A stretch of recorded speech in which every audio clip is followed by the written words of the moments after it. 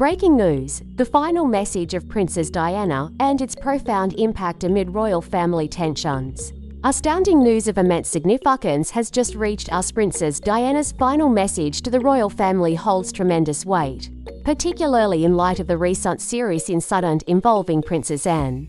In these fraught times, as the world closely monitors the health of King Charles's sister, tensions are undeniably mounting.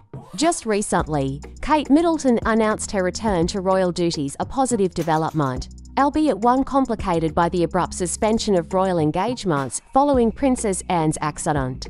This sequence of events has led to the widespread sharing of Diana's poignant last words to the royals, spoken before her tragic death in France. Let's dive deeper into what has transpired. But before we do, I urge you to like this video and share your thoughts on Diana's enduring legacy in the comments. Let's all join the conversation about Princess Anne's current situation and exchange our views. Princess Anne, King Charles's sister, was hospitalized following an accident involving horses at the Gatcombe Park estate. At 73 years old, she sustained minor injuries and a concussion. She is currently under observation at Bristol Hospital, with expectations for a full recovery soon. Her husband, Vice Admiral Tim Lawrence, was by her side during the incident. The royal family has extended their heartfelt wishes for Princess Anne's speedy recovery.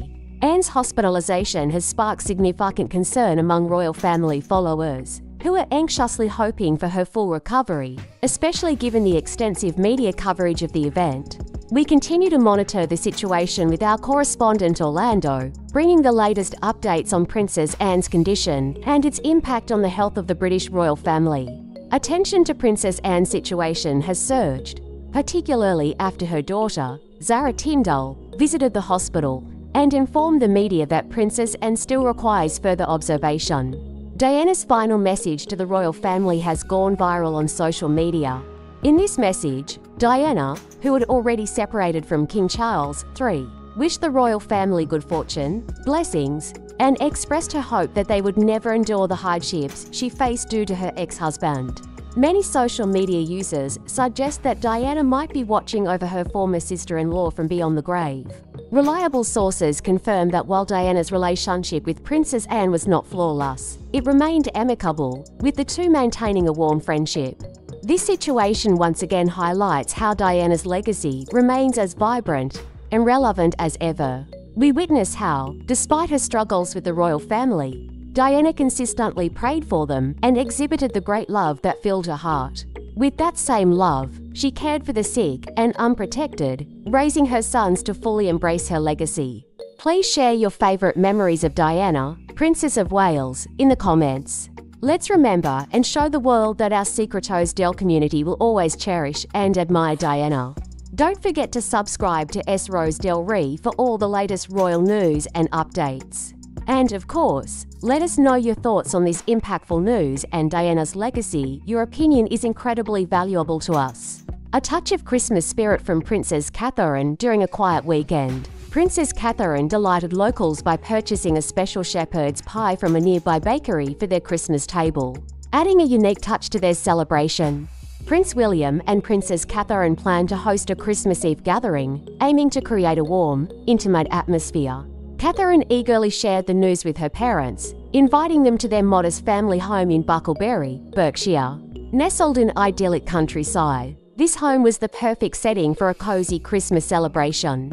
In the relaxed week and atmosphere, Kate and William eagerly anticipated the delicious meal prepared by Carol, hoping to create lasting memories before the busy holiday season began.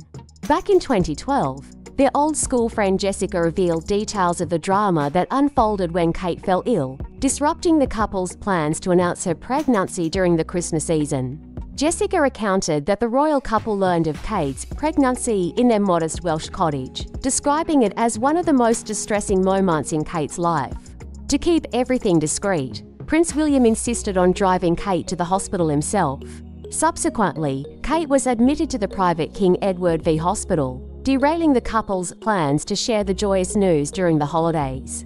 Despite the challenges, Jessica shared some good news. Catherine was feeling much better, regaining her appetite especially for Popeye and they were already making Christmas plans. She's feeling better now, and as always, They're getting through this by making each other laugh. With the new news made public, the couple focused on Catherine's recovery.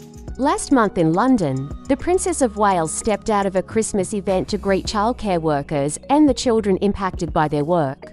The princess smiled, holding Brenda's hand, listening to how they had influenced each other's lives. Later, the princess presented gifts to the children. Princess Catherine's family story reminds us of the importance of unity and support, both in good times and bad. Her warm holiday spirit and ability to face challenges with humour and love are truly inspiring. What do you think of this news? Would you like to celebrate Christmas as Princess Catherine does? Share your thoughts below and subscribe for more captivating royal stories. A heartfelt farewell, the loss of a beloved UK public figure. This Wednesday, fans of a beloved UK public figure are in mourning. This morning, The Sun reported the passing of Robert Fellowes, the husband of Princess Diana's sister, Hannah. He was 82 years old. Although the cause of death remains unknown, it has been revealed that he passed away on July 29th. Lady Di's children are deeply shocked by this loss, as Robert was their uncle. Other family members are also in mourning, as Fellowes served for decades as Queen Elizabeth II's private secretary at Buckingham Palace. Many remember him as the man who helped the Queen navigate the crisis following Diana's death. Lord Robert leaves behind his widow, Hannah, Lady Di's older sister, and the daughter of the 8th Earl of Spencer. Hannah met her husband while he was working for the Queen, long before Diana's relationship with Prince Charles. She was the first Spencer to become close to the British royal family.